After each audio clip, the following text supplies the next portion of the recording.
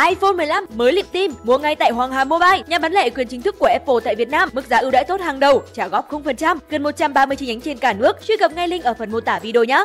Đây là một video mà mình thấy thật sự quan trọng và cần phải truyền tải đến các bạn để các bạn nhận thấy được sự nguy hiểm của bệnh dại và có phương án phòng chống phù hợp. Có lẽ ai đó bị chó cắn thì câu đầu tiên mà các bạn nghe được nhiều nhất là xem con chó đó có chết hay không, có biểu hiện gì không. Nếu có thì phải đi tiêm phòng ngay. Thế thì tại sao chó cắn người mà chó lại chết? Có thể các bạn sẽ nghĩ đến cắn xong chết nó giống như con ong. Sau khi chích người xong thì nó cũng lăn đùng ra chết. Thế nhưng chó thì lại không phải như vậy. Tại sao chó lại chết khi cắn người? Thì chúng ta sẽ tìm hiểu về bệnh dại nhé. Về cơ bản thì bệnh dại chỉ đơn giản là do virus có tên là dại gây ra. Đùa thôi, không phải con virus đó có tên là dại đâu, mà người ta gọi nó là virus dại. Có lẽ các bạn cũng chẳng cần quan tâm tên khoa học của nó là gì, bởi cái đó không quan trọng lắm. Giống như việc các bạn không cần biết rõ sóng 5G truyền thông tin ở tần số bao nhiêu, các bạn chỉ cần biết một bộ phim Full HD chỉ mất 10 giây để tải về là được. Tóm lại là bệnh dại do một loại virus dại gây ra. Cái quan trọng nhất mà chúng ta phải chú ý và quan tâm đó là bệnh dại cực kỳ nguy hiểm. Về nguồn gốc, thực tế mà nói thì chỉ phỏng đoán thôi, chứ con virus lần đầu tiên chui ra ở đâu thì khó lòng nào mà tìm hiểu được. Cơ mà dù sao thì nó cũng bắt nguồn từ động vật và có thể lây lan qua các loài động vật khác qua đường nước bọt mà loài động vật dễ bị mắc bệnh dại nhất, dễ lan truyền bệnh dại nhất đó là loài chó. Thống kê cho thấy trong năm sẽ có một khoảng thời gian mà chó cắn người và có nhiều người bị nhiễm dại hơn hẳn các tháng khác.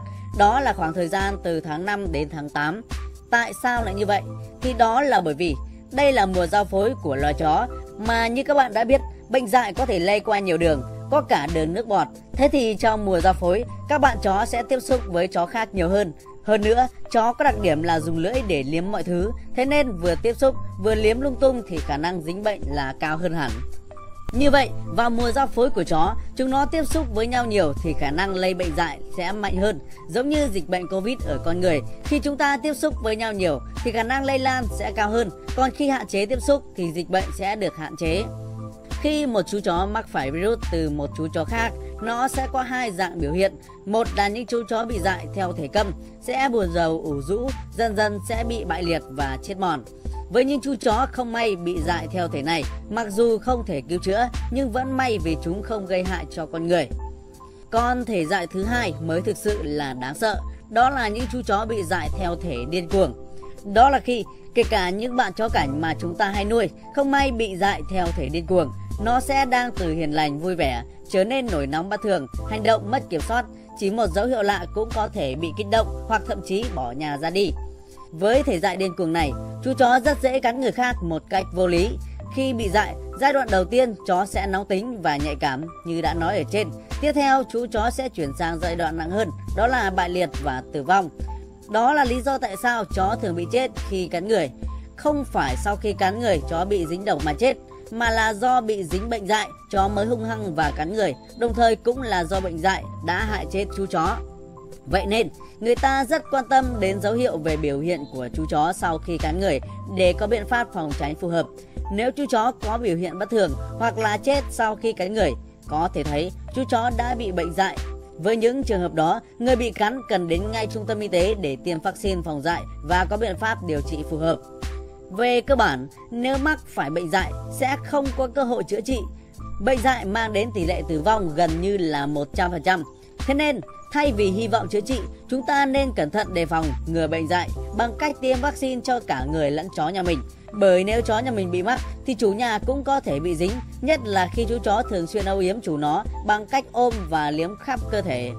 Còn nếu không may bị chó cắn thì tốt nhất là tiêm phòng dại ngay, không cần phải chờ đến khi chú chó có biểu hiện dại, bởi lúc đó tiêm sợ là quá muộn rồi. Nói chung, bệnh dại mà mắc phải thì hết hy vọng, chỉ có cách là đề phòng. Một chú chó đang hiền hòa bỗng dưng trở nên hung dữ, nhạy cảm với những kích động dù là nhỏ nhất thì phải để ý ngay, phải cảnh giác không để chó cắn vào người. Và thời điểm từ tháng 5 đến tháng 8 thì bạn hãy hạn chế cho chó tiếp xúc với những con chó khác, nhất là chó lạ đi linh tinh ngoài đường.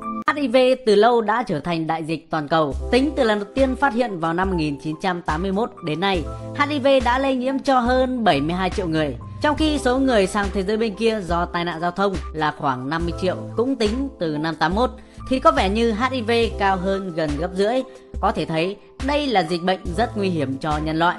Nhưng câu hỏi đặt ra là tại sao lại có thể có con virus tồn tại tới 40 năm với hàng tỷ đời con cháu nhà nó được sinh sôi nảy nở mà các nhà khoa học không ngăn chặn nó lại? Phải chăng nó có 81 phép thần thông khiến các nhà nghiên cứu phải bó tay? Thì thực ra, virus HIV không thần thông quảng đại như vậy, nhưng thật sự thì nó có phép thuật đó là biến hình. Chỉ mình chiêu này thôi cũng đã đủ làm cho tất cả các nhà khoa học trên hành tinh này chạy theo nó trong 40 năm mà vẫn không bắt kịp. Cụ thể, mỗi lần virus nhân bản nó lại khác đôi chút so với phiên bản cũ. Không biết thế hệ mới có hiện đại như người máy T1000 lên đời TX hay không, nhưng chỉ cần nó khác phiên bản cũ là các nhà khoa học lại rất mệt để tìm ra vaccine phù hợp. Và đó là lý do tại sao mãi mà người ta vẫn không tìm ra vaccine cho virus HIV, đúng hơn là cho dòng họ nhà nó. Vậy nên, cho đến nay, chúng ta vẫn phải ngậm ngùi nhìn HIV cướp đi từng người một. Nhưng nó đã làm như thế nào? Có thể gọi HIV là con virus cáo già xảo quyệt, bởi nó có năng khiếu là gắp lửa bỏ tay người. Khi vào cơ thể, nó không trực tiếp gây hại cho cơ thể, mà nó chỉ làm suy yếu hoặc phá hỏng hệ miễn dịch của người bệnh sau đó thì để cho các loại virus, vi khuẩn khác ra tay tiêu diệt vật chủ.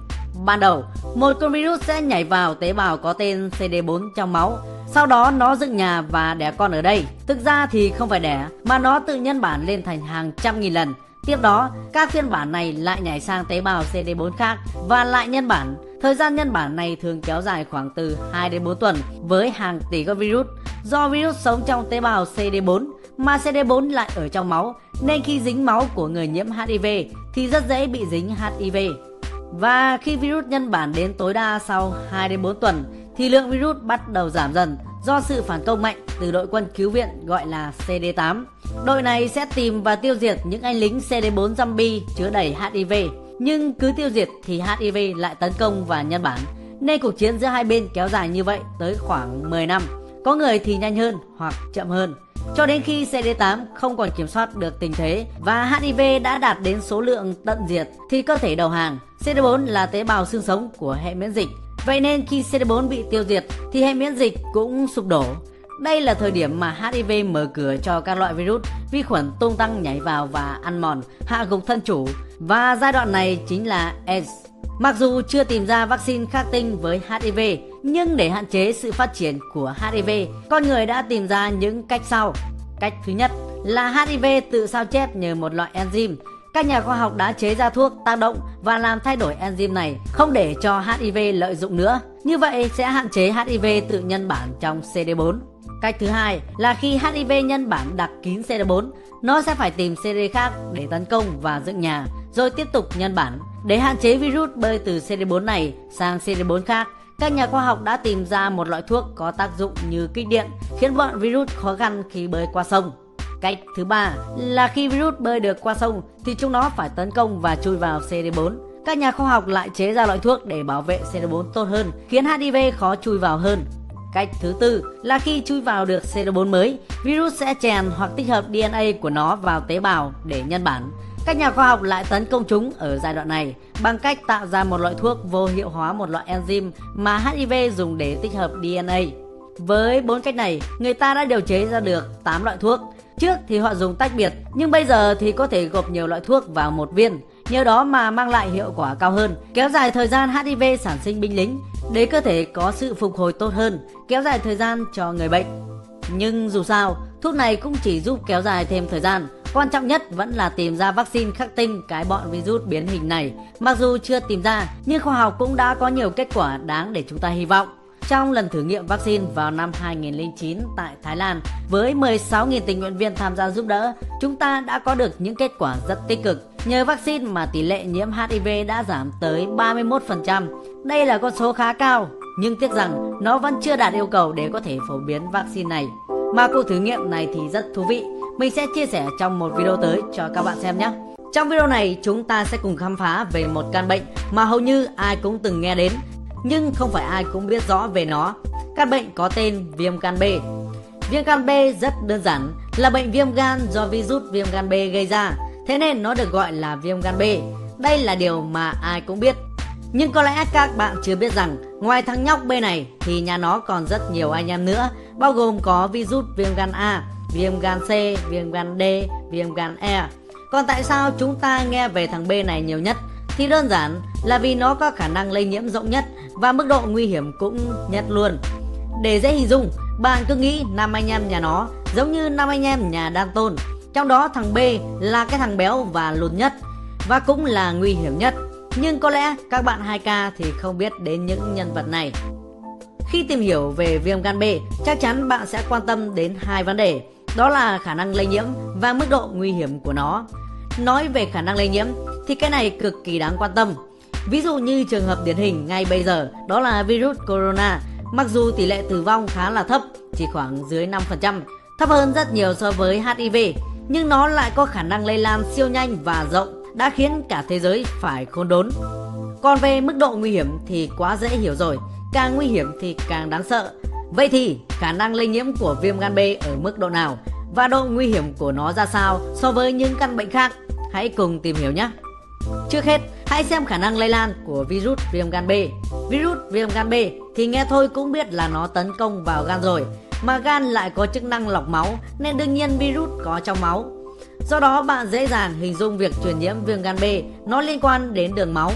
Ví dụ dùng chung dao cạo, chung bơm kim tiêm sẽ dính từ máu của người bệnh sang máu của người bình thường hay lây lan từ mẹ sang con khi mang thai vì cùng chung dòng máu. Tiếp nữa là ấy ấy mà không có cái gì ngăn cách giữa hai lớp da nhạy cảm thì cũng sẽ lây nhiễm. Nhiều người nói rằng viêm gan B có thể lây qua đường nước bọt, ví dụ như khi đôi nam nữ cắn nhau hoặc dùng đũa đút thức ăn cho nhau. Nhưng thực ra, các nhà khoa học đã chứng minh được rằng lây nhiễm qua đường miệng hay nước bọt là rất khó xảy ra, hay đúng hơn là gần như không thể. Bởi vì mặc dù trong nước bọt hoặc chất thải cơ thể có chứa virus, nhưng lượng virus này quá ít để có thể lây nhiễm sang người khác. Vậy nên các bạn cứ thoải mái vô tư sinh hoạt theo kiểu không phải vợ chồng với người nhiễm viêm gan B nhé.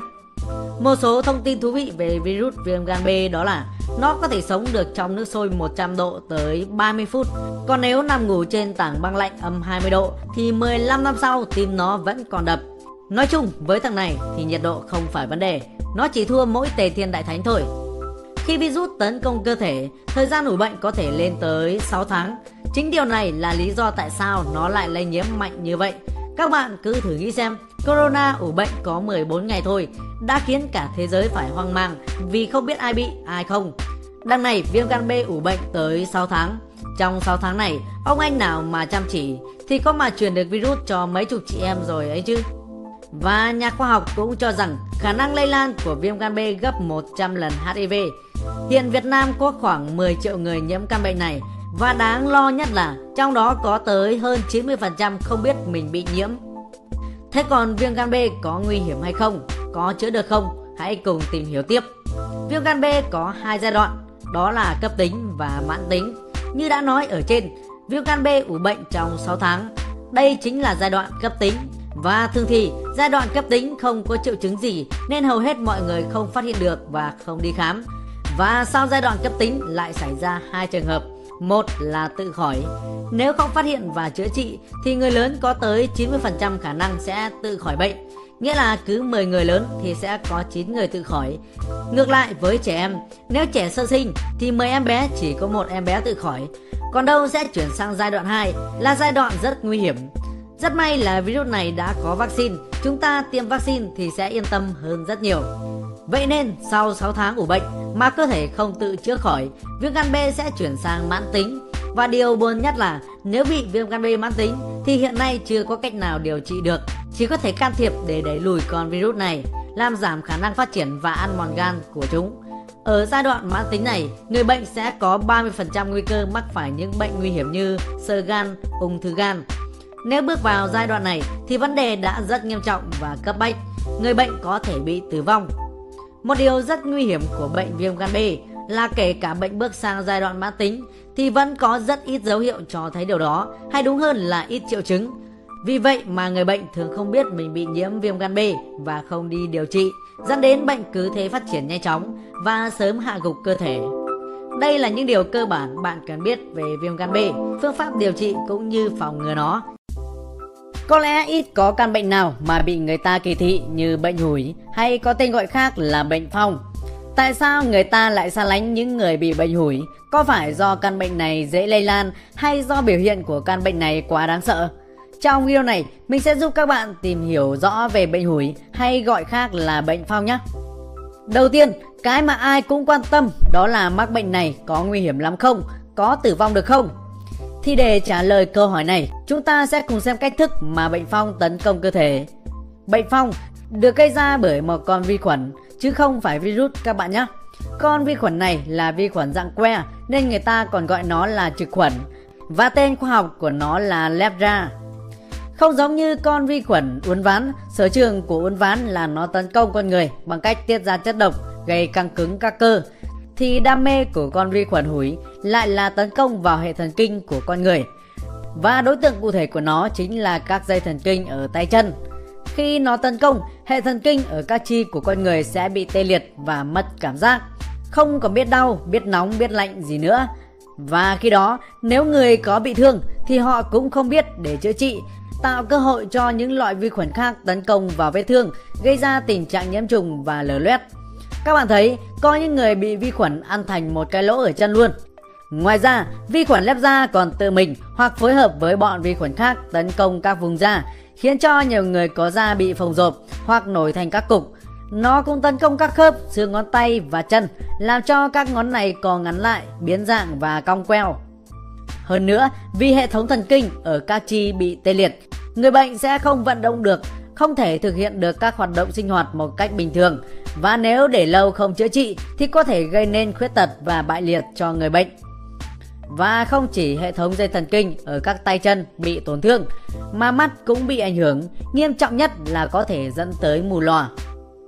Với những trường hợp bị bệnh nặng thì người bệnh còn có thể bị tử vong, nhưng với trình độ y học hiện nay thì bệnh phong không còn khó chữa, thế nên khó có người bị tử vong. Cơ mà để lại di chứng như tàn tật thì vẫn dễ xảy ra.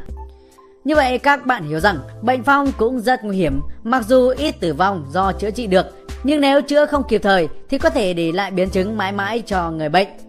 Thế thì nghiêm trọng như vậy nhưng bệnh phong có dễ lây hay không? Chúng ta có nên xa lánh những người bị bệnh phong hay không? Thì thực ra bệnh phong rất là khó lây. Bệnh phong lây qua dịch nhầy từ việc hắt ho và hắt hơi hoặc thở của người bệnh. Có thể các bạn thấy con đường lây nhiễm của nó khá giống với một loại dịch bệnh gần đây, đó chính là corona. Theo các nhà khoa học, bệnh phong khó lây là bởi hai lý do sau. Một là vi khuẩn lepra này khá yếu, nó chỉ sống được ở môi trường bên ngoài 48 tiếng. Hơn nữa nếu người bệnh đã uống thuốc điều trị bệnh phong từ 5 ngày trở lên thì vi khuẩn còn yếu hơn rất nhiều, khả năng lây nhiễm là cực kỳ thấp. Cụ thể là nếu người bị bệnh phong nặng và không được uống thuốc điều trị thì cũng chỉ có 30% vi khuẩn có khả năng gây bệnh. Còn nếu uống thuốc thì tỷ lệ đó giảm xuống chỉ còn 5%. Nguyên nhân thứ hai là khả năng đề kháng của mọi người rất tốt. Có tới 90% dân số có khả năng tự đề kháng với vi khuẩn bệnh phong. Như vậy chỉ có 10% có thể bị bệnh. Mà vi khuẩn có thể gây bệnh từ người bệnh đã được uống thuốc chỉ là 5%. Kết hợp lại thì chỉ có 0,5% khả năng gây bệnh khi tiếp xúc với người bị bệnh phong. Một nghiên cứu khác cũng cho thấy chỉ có 3 đến 4% vợ chồng lây nhiễm cho nhau. Các bạn biết là vợ chồng thì gần gũi với nhau đến mức nào. Vậy mà chỉ có 3 đến 4% lây nhiễm thì chúng ta không có lý do gì để xa cách với những người bị bệnh phong. Tuy nhiên nói như vậy nhưng nếu tiếp xúc với người bệnh thì vẫn phải áp dụng các biện pháp phòng tránh để đảm bảo an toàn hơn. Hơn nữa, bệnh phong hiện nay đã có thể chữa khỏi hoàn toàn. Chỉ cần phát hiện sớm và điều trị kịp thời thì chúng ta sẽ không gặp vấn đề gì nếu chẳng may nhiễm căn bệnh này. Vậy nên, ngày xưa có thể hiểu biết còn hạn chế, việc điều trị bệnh phong không mang lại hiệu quả nên người ta xa lánh và kỳ thị người bị bệnh phong, bệnh hủi. Còn đến nay, y học đã có thể xử lý gọn con vi khuẩn lepra. Chúng ta không còn lý do gì để phải xa lánh những người bị bệnh phong nữa. Bệnh phong có thể chữa khỏi hoàn toàn có nghĩa là những người đã được chữa khỏi hoàn toàn không thể lây bệnh cho người khác. Khi họ được chữa khỏi và hòa nhập cộng đồng, cộng đồng chúng ta hãy giang đôi tay lớn để đón chào họ và xem họ như một người bình thường. Cuộc sống này cần nhiều yêu thương hơn là sự ích kỷ. Uốn ván là một loại bệnh có tỷ lệ tử vong cực cao, ít nhất là 25% và cao nhất là lên tới 95% đối với trẻ sơ sinh. Có nghĩa là với trẻ sơ sinh thì gần như mắc phải uốn ván là sẽ tử vong.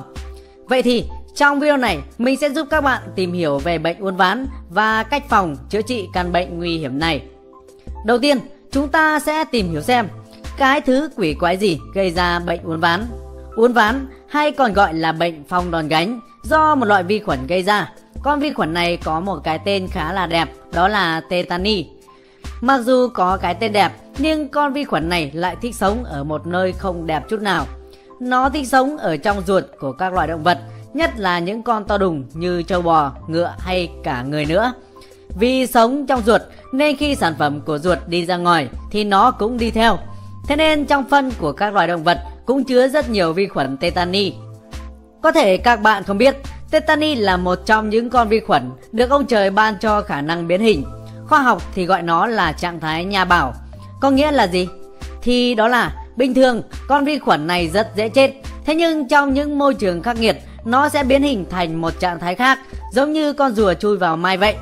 Thì con vi khuẩn này nó tự tạo ra một lớp vỏ bọc bên ngoài, có khả năng chịu được nhiệt độ rất cao. Các nghiên cứu cho thấy nha bào của tetani có thể sống tới 5 ngày khi đun trong nước sôi, còn dùng nồi áp suất đun lên 180 độ thì cũng phải mất 10 phút nó mới chết. Còn chịu lạnh thì vô đối luôn.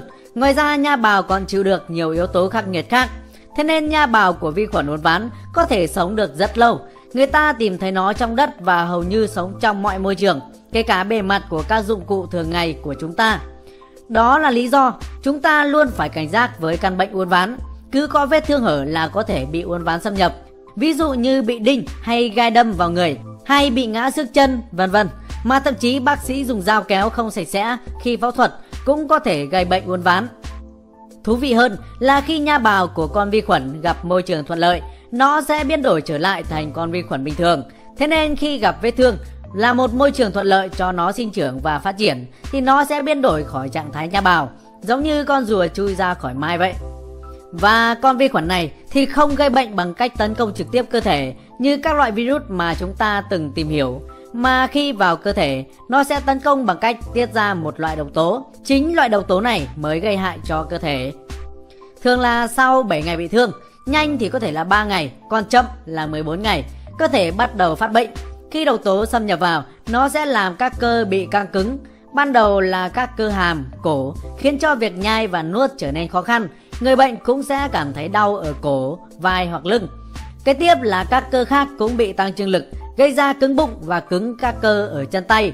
Do căng cứng liên tục ca cơ mặt, người bệnh sẽ có một vẻ mặt nhăn nhó hoặc cười khẩy, cười nhăn. Và khi co cứng cơ lưng thì tạo ra một tư thế lưng cong ưỡn giống như cái đòn gánh. Thế nên nó mới có tên là phong đòn gánh hay uốn ván, uốn cong như một tấm ván. Nếu như chỉ co cơ tay hay chân thì khó có thể tử vong được. Thế nhưng bệnh này lại gây ra tử vong đó là do hai bộ phận quan trọng của cơ thể là phổi và tim. Khi các cơ giúp hai cơ quan này hoạt động bị co cứng thì phổi và tim hoặc cả hai sẽ không thể hoạt động bình thường. Tiếp đó là thiếu oxy hoặc máu và từ đó bệnh nhân sẽ tử vong. Khi bị uốn ván thì việc điều trị là rất khó khăn và tốn kém.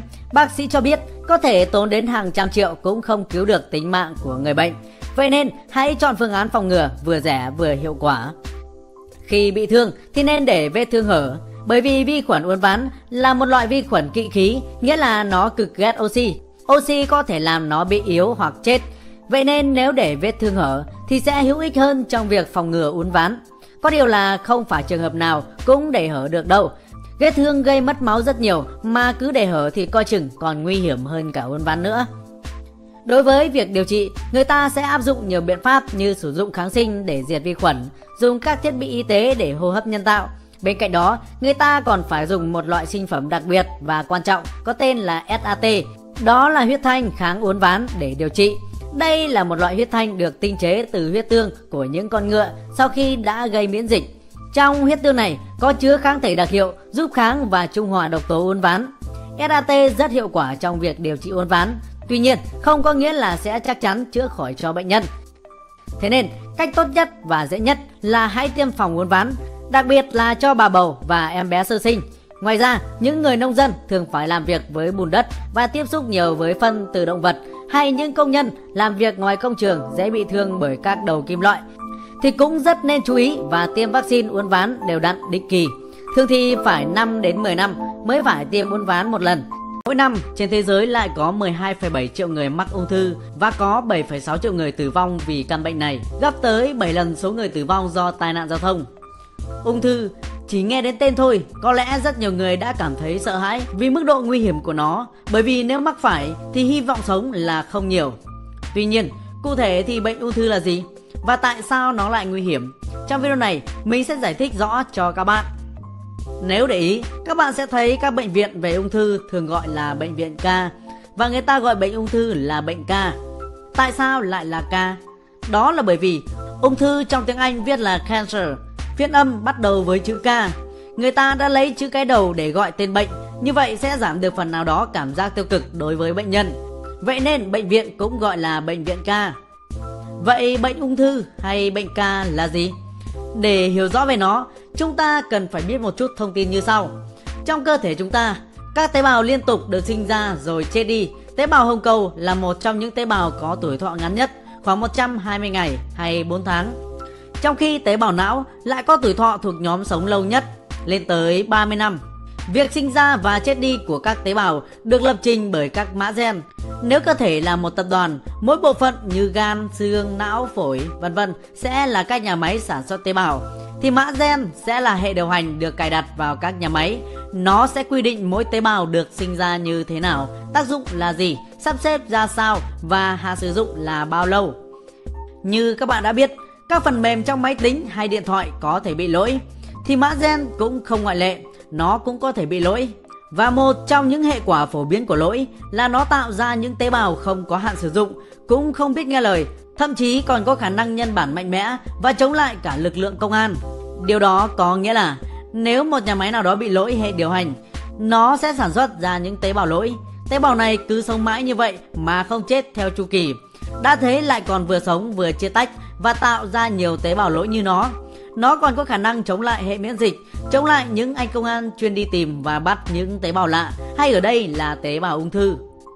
Và thời gian trôi qua, các tế bào tiếp tục phát triển vô tổ chức, phá hỏng hết các quy tắc về sự sắp xếp, tạo thành những cục tế bào khổng lồ đến mức mắt người có thể nhìn thấy, đó là những khối u. Tuy nhiên, khối u sẽ có hai loại, đó là u lành tính và u ác tính.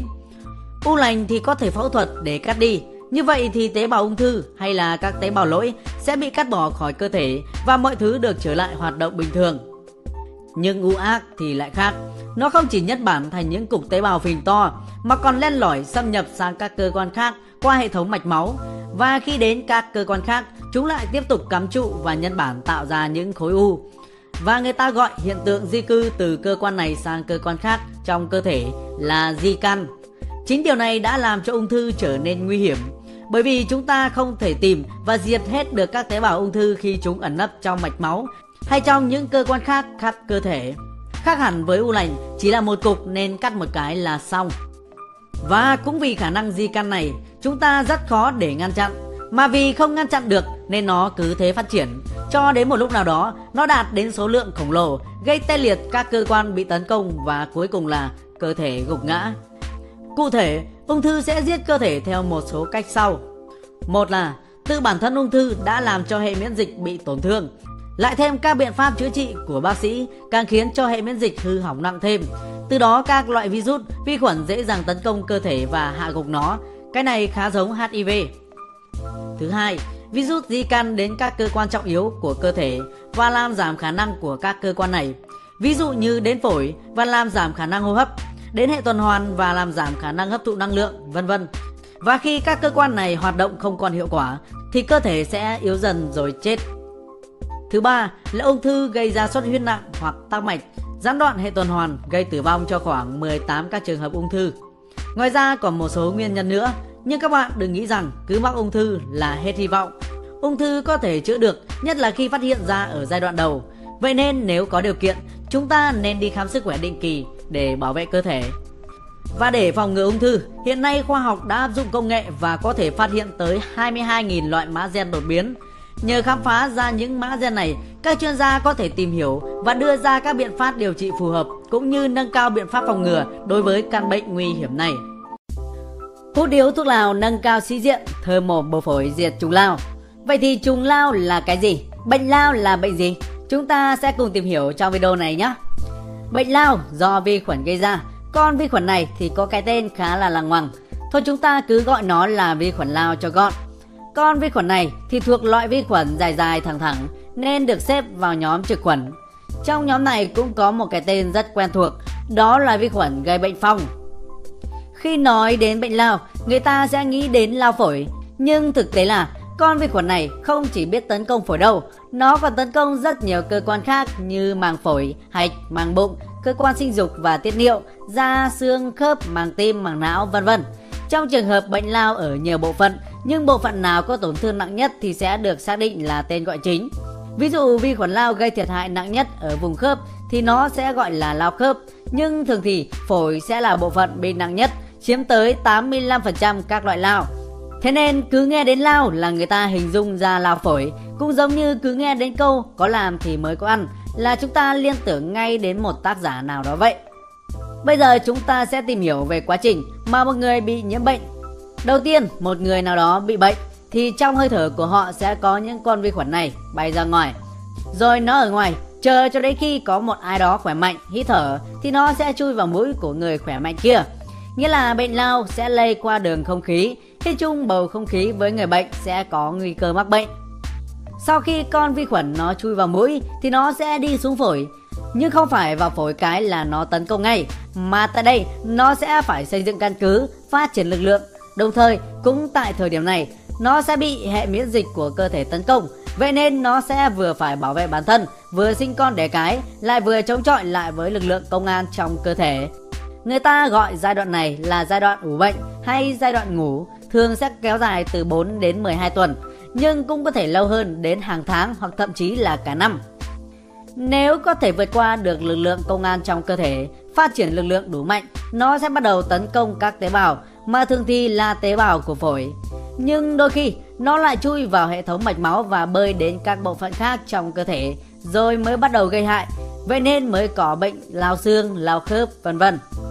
Khi cơ thể bị vi khuẩn lao tấn công, nó sẽ xuất hiện những dấu hiệu như cơ thể cảm thấy mệt mỏi, kém ăn, sút cân, sốt, da mồ hôi đêm. Ngoài ra tùy từng thể lao mà người bệnh có thêm các triệu chứng khác. Riêng đối với lao phổi sẽ có thêm một triệu chứng rất điển hình, đó là ho. Ho lao khác hẳn với ho thường, nó kéo dài trên 2 tuần, có thể là ho khan hoặc có đờm hoặc thậm chí là ho ra máu, kèm theo đau ngực, khó thở. Khi cơ thể bị vi khuẩn lao tấn công, nếu không phát hiện sớm và chữa trị kịp thời, các vết thương sẽ ngày càng nặng hơn. Các cơ quan bị tổn thương có thể sẽ bị phá hủy và giảm hoặc không còn khả năng hoạt động. Điều đó sẽ dẫn tới việc bệnh nhân có thể tử vong. Nói về tử vong, bệnh lao là bệnh nhiễm trùng có số người tử vong cao nhất. Rõ ràng đây là một căn bệnh rất nguy hiểm. Nhưng rất may mắn là chúng ta có thể yên tâm rằng hầu hết các bệnh lao có thể được chữa khỏi một cách dễ dàng trừ những trường hợp quá đặc biệt hoặc quá nặng. Bệnh lao là do vi khuẩn gây ra mà như video về kháng sinh thì mình đã chia sẻ. Đối với vi khuẩn thì chất kháng sinh sẽ là khắc tinh của chúng. Vậy nên người ta sẽ dùng thuốc kháng sinh để điều trị bệnh lao. Nhưng không phải dùng một loại mà dùng rất nhiều loại kháng sinh kết hợp lại với nhau để mang lại hiệu quả nhất. Ví dụ như đối phó với lao phổi, phương pháp điều trị phổ biến là dùng nhiều loại thuốc kháng sinh trong vòng 6 tháng hoặc lâu hơn. Và phác đồ điều trị cho từng ca bệnh thì còn phụ thuộc vào nhiều yếu tố, bao gồm độ tuổi, sức đề kháng của người bệnh, tình trạng kháng thuốc của người bệnh, vân vân. Có một vấn đề cần lưu ý, đó là khi sử dụng thuốc kháng sinh, chúng ta phải tuân thủ đúng hướng dẫn của bác sĩ. Đặc biệt là không thấy khỏi rồi thì bỏ không điều trị nữa. Tại sao lại như vậy? Thì đó là bởi vì khi thuốc kháng sinh tìm và tiêu diệt vi khuẩn, có thể nó tiêu diệt gần hết rồi thì cơ thể sẽ hồi phục và khỏe mạnh trở lại. Nhưng vẫn còn một ít con vi khuẩn chưa bị tiêu diệt. Nếu lúc đó chúng ta rút quân không điều trị nữa thì những con vi khuẩn còn lại kia sẽ nghiên cứu phương pháp của thuốc kháng sinh và tìm ra cách miễn kháng với nó. Nếu nó thành công thì bệnh tái phát trở lại. Chúng ta mang thuốc kháng sinh ra dùng sẽ không còn tác dụng. Lúc đó vấn đề chữa được hay không là cực kỳ khó trả lời. Vậy nên đã chữa là phải chữa dứt điểm. Nói chung là chữa thì cũng chữa được, nhưng cách tốt nhất và rẻ tiền nhất là tiêm vaccine phòng ngừa bệnh lao, nhất là cho trẻ em. Ngoài ra, chúng ta cũng không nên tiếp xúc gần với người bị bệnh lao mà không có trang thiết bị để bảo vệ. Vậy là chúng ta đã tìm hiểu xong về bệnh lao. Hy vọng video hữu ích với các bạn. Và đừng quên hãy tự đầu tư kiến thức cho bản thân bằng cách mua một vài khóa học ở phần link phía dưới nhé. Cũng là góp một phần ủng hộ kiến thức thú vị nữa. Cảm ơn các bạn rất nhiều. Xin chào và hẹn gặp lại ở những video thú vị khác.